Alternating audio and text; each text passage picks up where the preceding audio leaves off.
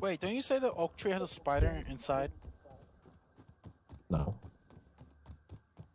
But didn't you say that one time?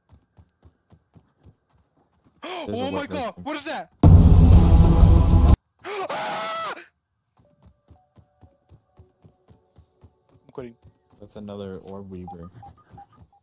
Alright, oh well, Oh we're my god, have behind us! Behind us, two giant spiders!